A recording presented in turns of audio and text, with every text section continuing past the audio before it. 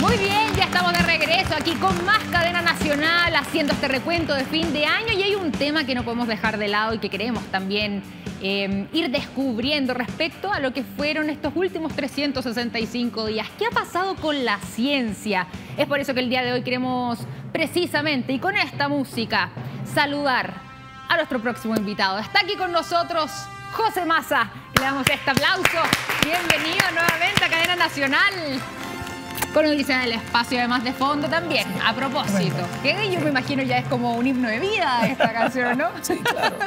Claro que sí. Queremos invitarlo, José, por favor, ¿Ya? pase usted aquí en nuestro estudio para que comencemos esta conversación haciendo el recuento eh, de los hitos científicos de este año, porque fue un año importante eh, en múltiples aspectos. A ver, ¿qué evaluación hace usted este 2019? Uy, es que en realidad son tantas las noticias que salen, me pillas un poco de sorpresa. La noticia más espectacular que ha sido comentada en todas partes es esta observación del horizonte de eventos de un hoyo negro. Es una observación muy difícil, pero realmente muy difícil, y que sin embargo se logra este año con la participación de múltiples observatorios en el mundo, incluidos observatorios en Chile, con radiotelescopios, que logran ver, en el fondo es como la, la boca del lobo de un hoyo negro que queda en la constelación de Virgo, en una galaxia grande, Claro. Messier 87.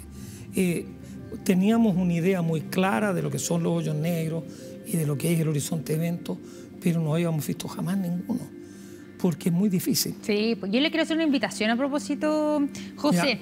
Quiero invitarlo a revivir ese momento, ¿le ¿Ya? parece? Estupendo. Eso, veámoslo. veamos este momento, eh, hito clave además también en investigación científica de este 2019. Hay una galaxia Y ahí el conteo, la que cuenta regresiva. como Messier 87, nosotros la llamamos M87. Y Tres segundos.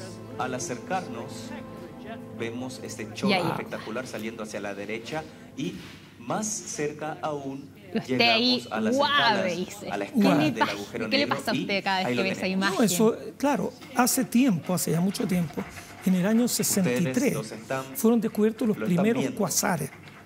Eh, Un cuasar es el núcleo de una galaxia, normalmente una galaxia muy grande, como es Messier 87, que en su núcleo las estrellas están suficientemente cerca como para que chocan y van formando un objeto más grande. Y un objeto muy grande, la fuerza de gravedad es tan poderosa y se suma mientras más objetos se aglomeren que llega un momento en que la fuerza de gravedad vence todas las otras fuerzas y esto se desploma a lo que se llama un hoyo negro. Y ese, ese En torno del hoyo negro, ¿sí? si cae materia, mira, el hoyo negro es como, es como la boca de un embudo, ¿Ya? pero la boca estrecha de un embudo. Y después el embudo se agranda. Si uno le tira materia, va a empezar a girar en la parte cónica del, hoyo- de- del embudo.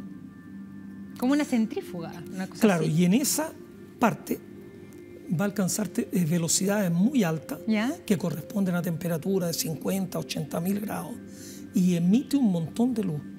La boca del hoyo negro está ya cuando se hace flaco el embudo. De ahí ni la luz puede salir. Entonces el horizonte de evento en ese símil estaría justo en la parte de abajo del embudo. Bueno, Impresionante. esta galaxia, Messier 87, tiene un montón de actividad, tiene un montón de materia cayendo hacia un hoyo negro supermasivo. Tiene incluso un jet, que lo mostraban ahí esas imágenes, un jet que tiene grandes dimensiones, que es una radiofuente muy poderosa.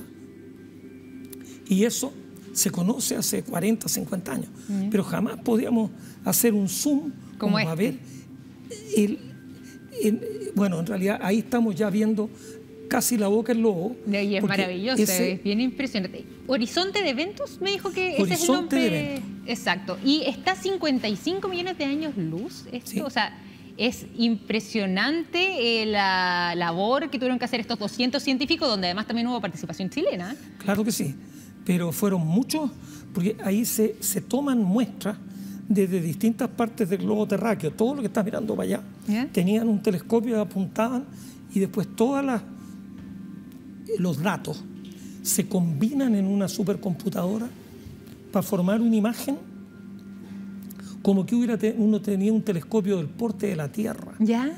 La Tierra tiene más de 12.000 kilómetros de tamaño.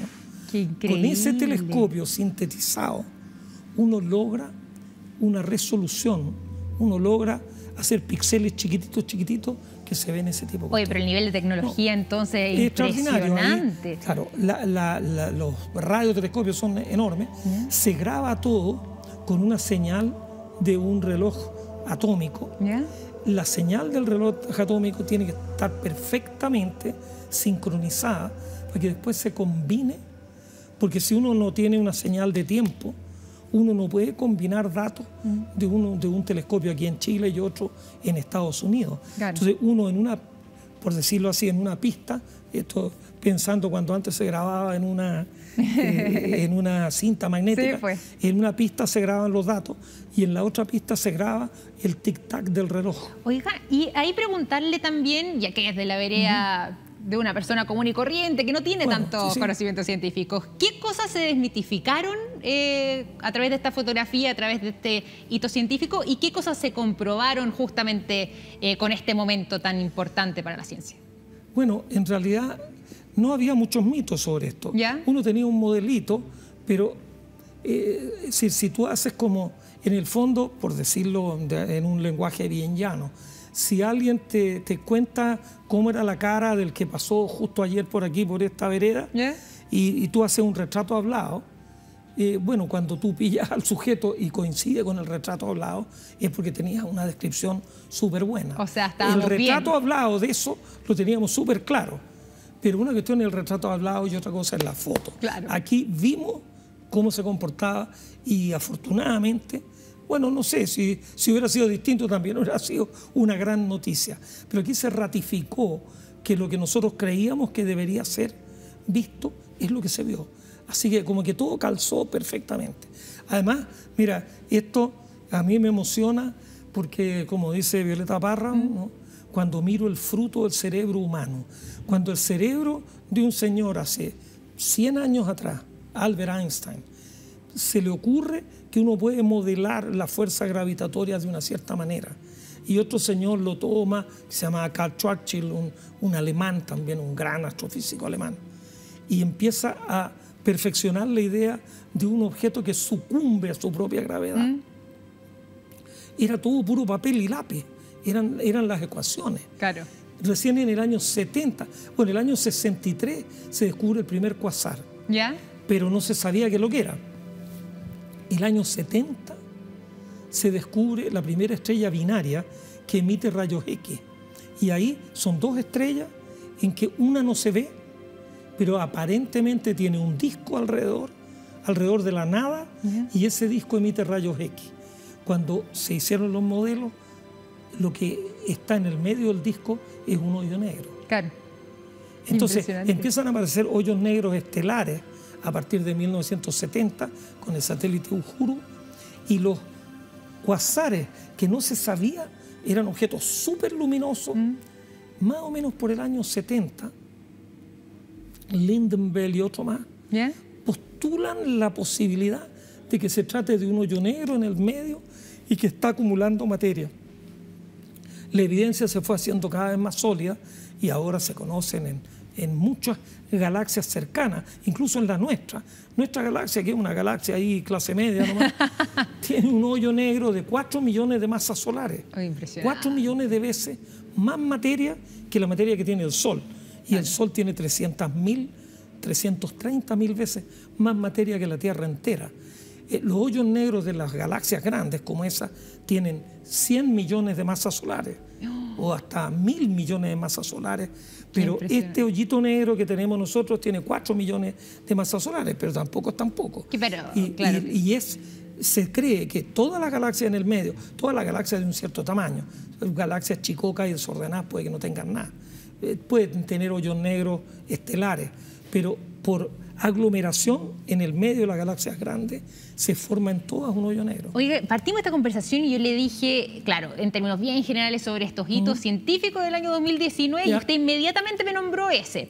Y yo me imagino que no va a ser el único chileno que vaya a responder eso, porque además quiero invitarlo a revisar un Twitter de parte de Alma justamente, que en esta... mm, eh, versión en esta oportunidad, en realidad, hace un concurso, Alma 2020, y ahí dice, elige el descubrimiento del año donde la gente puede votar.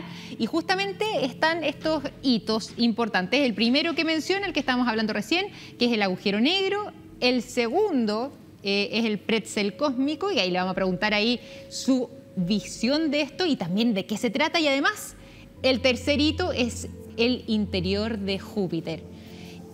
¿Qué son estos dos fenómenos que no hemos mencionado, pero que además también vienen a formar parte de los hitos científicos de este 2019? con el pretzel cósmico. ¿Lo pillé? Sí. Hoy nosotros estábamos confiando y dijimos, bueno, la verdad que que no lo había escuchado. Ahora, a mí me parece que esta cosa es el centro galáctico, pero no estoy seguro. En los centros de las galaxias, también una, una, cuestión que ha sido de estudio. ¿Ya?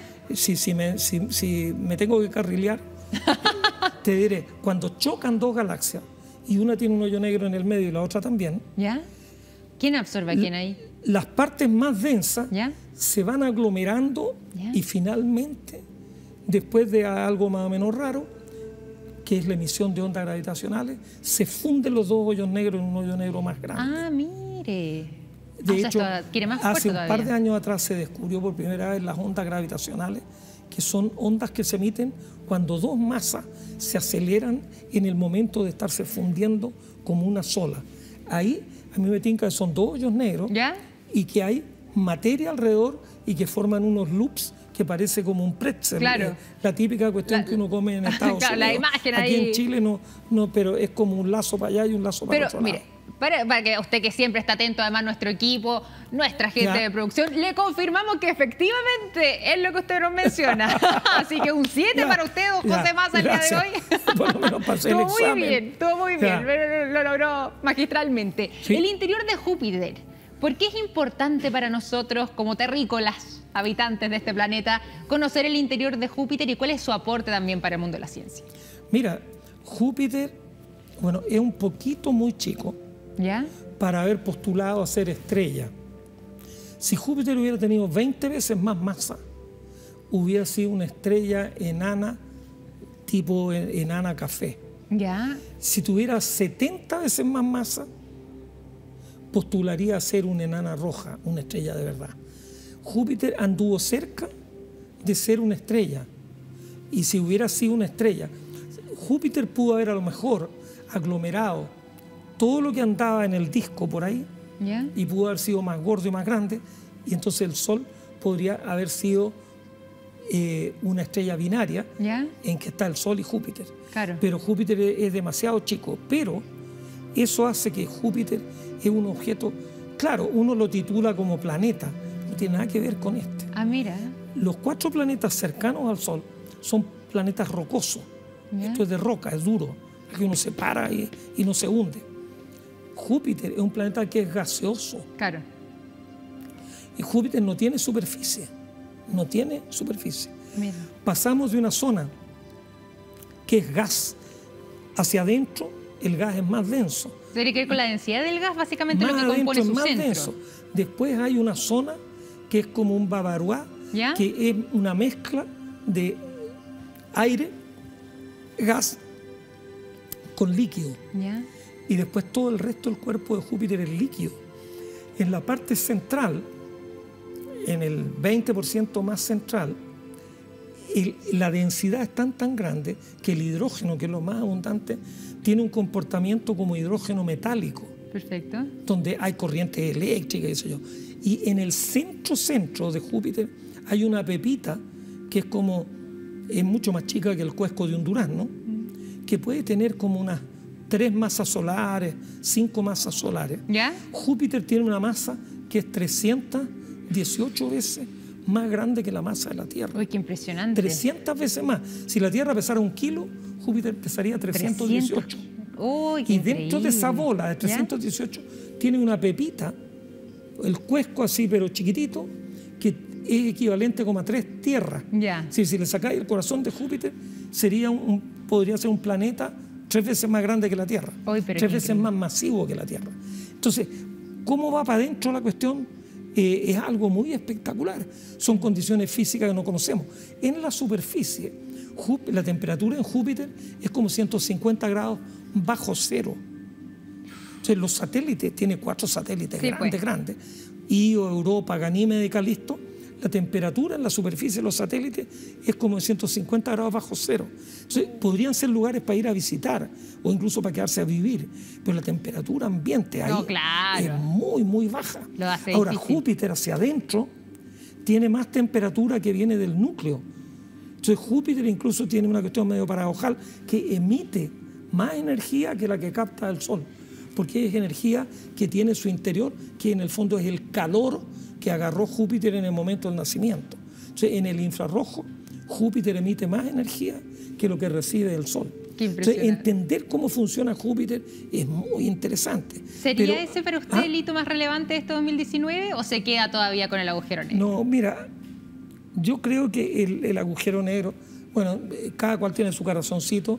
Yo trabajé un tiempo, bastante tiempo, en búsqueda de cuasares y entender el fenómeno del núcleo de una galaxia. Entonces los agujeros negros y el horizonte de eventos y el disco de acumulación en torno al hoyo negro eran algo que para mí eran habituales y entonces el hoyo negro para mí la gana. Eh, Júpiter está muy cerca, Júpiter es casi geología, uno, el Ah, sistema solar es para los geólogos. Júpiter, No, no, no, geología, los no. astrónomos partimos de, de Alfa Centauri para adelante.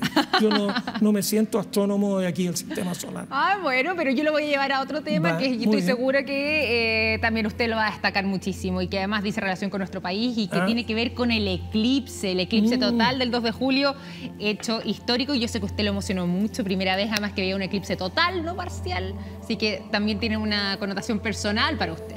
Sí, claro, en realidad para la historia grande de la ciencia, lo, lo del la- el horizonte de evento es para el bronce o para el mármol.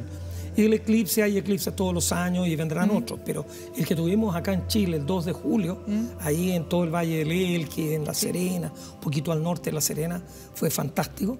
Es la primera vez que yo veo un eclipse total de ¿Dónde sol. lo vio usted? En el estadio La Portada de La Serena. Estaba ahí además haciendo una conferencia. Di una y- charla y habían 10.000 Exacto. personas, que es la charla más numerosa que yo he dado en mi vida. Sí, pues. Era bien impresionante. Por suerte, debido a que el eclipse era muy tarde en la tarde, la mitad del estadio tenía dificultades para ver el sol. Oh. Entonces solo se habilitó el lado oriente, como, como quien dice la tribuna antes del Perfecto. estadio. Y la mitad de la cancha. La otra mitad no, porque el estadio tapaba el sol Claro. y, y la, y la tribuna Pacífico estaba totalmente despoblada. Pero entre toda la tribuna ahí y la gente en la cancha, se estimaban en 9.500, 10.000 personas. Yo di una charla teloneando el eclipse. El eclipse era No, de 20 para las telonero. 5. ¿Ya? Claro, el, el invitado especial era el eclipse.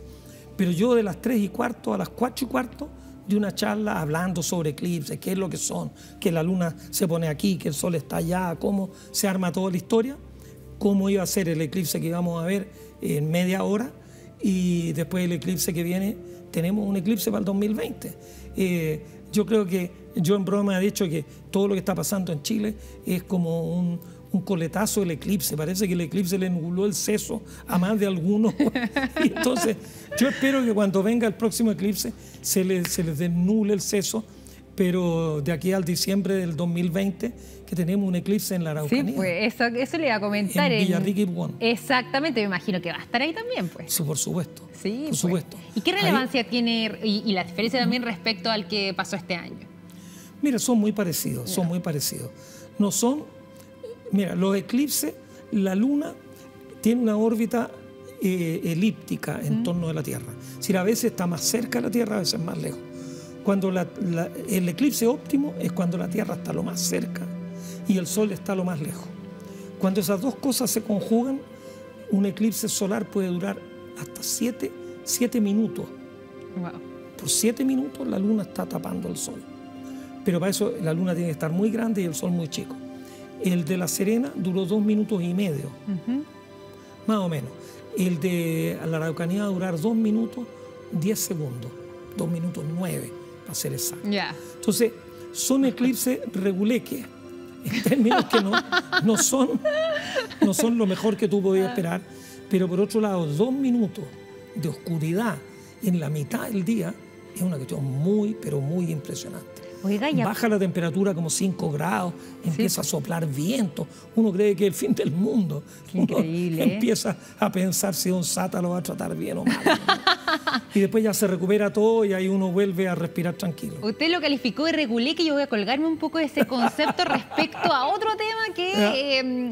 fue evaluado por algunas personas y que también tuvo nuestro país como protagonista eh, y que se llevó un poco esa connotación, me refiero a la COP25, no solamente por todo lo que sucedió eh, con realizarla o no nuestro país, finalmente se hace en España, sino que además también cómo eh, nuestro país hizo de anfitrión acá. Yo le quería preguntar un poco su visión respecto a lo que había pasado ahí. ¿Cómo encuentra usted que fue el rol de Chile en esta COP25? De hecho, bueno, mire, lo voy a interrumpir un segundito antes para que entremos de lleno, pero podemos ver y escuchar parte de lo que fue. ¿ah? Tenemos aquí un momento que quisiéramos recordar junto a usted y también la gente que nos acompaña, justamente de esta COP25. Dear delegates, considering that the late hour and the fact that uh, most of us must hurry to the airport, I would like to propose that the statements are sent and uploaded electronically? No.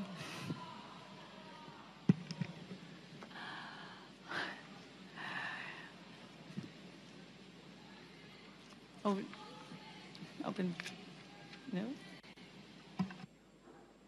Esta situación que un poco da cuenta de lo que fue también la COP25 y que además se replicó en distintos postales. Obviamente hay, hay, un nivel de improvisación, es bastante raro que quien esté presidiendo proponga algo, pero mm. con bastantes dudas, si le dicen que no, se queda como dudando. No, yo creo que por otro lado, la COP25 se tenía que hacer en Chile mm. y aparentemente, vaya uno a saber, pero habían preparativos y se podría haber hecho una cosa buena muy a última hora, en el último minuto, faltando, mm. no sé, tres, cuatro pues. semanas, cuatro semanas, se cambia. España accede a ser la sede a nombre de Chile. Es decir, Chile es el país anfitrión, pero en Madrid. Una cuestión bastante loca. Bien extraño. Y, y por otro lado, eh, no sé, yo creo que, mira, lo de la COP25 a mí me parece que siendo un temazo, tal vez el tema más importante que tiene la humanidad hoy. Sí, pues. Tampoco, tampoco le pidamos peras al olmo. Realmente yo creo todo el problema del cambio climático, mm. todo lo que estamos viendo, porque y hay evidencia sólida científica mm. que estamos haciendo cosas que no deberíamos pues. y que está poniendo en peligro la existencia del hombre en el planeta Tierra tal como la conocemos. Mm. Pero los cinco que contaminan, bueno, los dos que contaminan más son China y Estados Unidos. Sí. Y si a eso uno le suma la India, Rusia y Brasil, entre esos cinco producen el 60% más de la emisión de anhídrido carbónico a la atmósfera. Ahora, en la COP25 participaban más de 100 países. Chile como país anfitrión, nosotros no somos responsables ni siquiera del 1% de la contaminación del planeta. Entonces la verdad es que eh, si los grandes no se quieren poner de acuerdo, es muy difícil que a Chile, un país pequeño, le pudieran hacer caso para firmar algunos documentos eh. comprometiéndose a algo. Entonces yo, yo no soy tan duro en tildar de que fue un fracaso, un fiasco. Eh, porque Chile nunca pudo haber pretendido seriamente. Claro, ser líder en este tipo de temas. Eh, Justamente convocar a Estados Unidos y a China para que firmaran. Esa cuestión aquí ni en la quebrada de la GIU hubiera ocurrido y tampoco ocurrió en Madrid. Entonces uno puede decirle, sí, la ministra hizo el loco porque no fue capaz de convocar a los grandes. Pero es que yo creo que los únicos que tendrían capacidad de convocar a los grandes y que no lo lograrían, por otro lado, sería un equipo de Europa. Si Alemania, Francia, Inglaterra. Y además ya habla de equipo, ¿no? Un país solito, claro, como en nuestro caso. Pero, claro, países como los que te menciono, tienen ellos espaldas que son 10 veces más grandes que nosotros. Y si se arma un conjunto en que toda Europa, pero particularmente Alemania, Francia, Italia, Inglaterra y España, todos esos países le piden ya, pero golpeando un poco la mesa. Pero mira, eh, el Acuerdo de París Macron, el presidente de Francia, intentó de que los... Y bueno, y el presidente de Estados Unidos dijo que él no estaba ni ahí con aquello. Entonces, si no pudo Francia eh, era un poquito iluso pretender que nosotros íbamos a hacerlos sentarse en la mesa. Lógicamente esto, el tema además del cambio climático y todo lo que está pasando eh, respecto al cuidado del planeta, es algo que va a seguir porque el tema y el desafío más grande que usted mismo dice está enfrentando la humanidad hoy en día. ¿Cómo se viene este 2020? A ver si podemos dar unas palabras al cierre en cuanto a lo científico, en cuanto a los avances y también quizá en este tipo de temas. ¿Qué espera usted, José Massa? Mira, eh, no sé, yo para el 2020 la verdad es que estoy empezando a pasar. ¿Ah, sí? Claro, ya uno no sabe lo que esperar. Yo te diría, en Chile en este año ¿Mm? se empezó a establecer el Ministerio de la Ciencia, lo cual me parece un paso muy, muy positivo. El único problema es que es como que yo le compre una alcancía a mis hijos, pero no les ponga ni una moneda dentro de la alcancía. Es re positivo que si yo tuviera hijos chicos, ya mis hijos tan grandes, pero esto es una metáfora. Sí, si uno le entiendo. regala a un niño una alcancía para que vaya ahorrando, pero no le da un peso, con que tengamos una alcancía no sacamos nada. Claro. Que Chile tenga un Ministerio de Ciencia es muy bueno para ordenar la visión de país y para ordenar la inversión que se va a hacer en ciencia y tecnología. Yo quisiera soñar todavía que el 2020 nos traiga inversiones mucho mayores que las actuales, porque Chile no va a salir de donde está. Incluso un- una cosa sobre contingencia. Llevamos dos meses y nadie, es decir, las autoridades nunca han hablado de cuál es la propuesta que le quieren hacer a la ciudadanía en términos de educación. Sí, la pues. educación es uno de los grandes temas que causa la desigualdad, que hay un, hay un espejismo de que, de que no, si todos estudian, pero es que si tú estudias en un colegio que no tiene profesor de matemática, ni de física, ni de química, ¿cómo vaya a poder competir? No se puede. Yo quisiera creer que Chile va a entender que el camino es educar, educar y educar, y además invertir en ciencia y tecnología. Así vamos a ser un país desarrollado. De los otros modos, no. Don José Massa, ¿sí o no? ¿Nueva constitución? Bueno, de todas maneras, la constitución hay que escribirla entre todos. Es decir, si el, país, si el país es de los ciudadanos, yo por lo menos me eduqué con ese concepto. O sea, ¿va Eh, sí o sí, dice usted? Es No, de esa... tiene- tenemos que hacer una constitución, pero, pero para que la constitución sea representativa, la mitad, tenemos que elegir dos papeletas. ¿Cuál es la mujer que más te gusta? ¿Cuál es el hombre que más te gusta? Y punto. Con la mitad hombre y la mitad mujeres, ni una complicación, ni una. Mitad mujeres y mitad hombres. Pero además tenemos dos tres o cuatro colectivos. Claro. La, la representación de todas las regiones, la representación de los pueblos, pueblos ancestrales, Además, pues, etcétera. tenemos una La- gran deuda ahí mira, también, pues. la- todas las formas de alguna minusvalía, un 20% de los ciudadanos en Chile tenemos o tienen, tienen o tenemos, yo ya voy para allá, eh, para subir una escalera uno tiene problemas, Sí, hay pues. otros que no pueden subir, tienen, hay algunos que tienen problemas visuales, acústicos, Auditivos, etcétera, y es muy grande.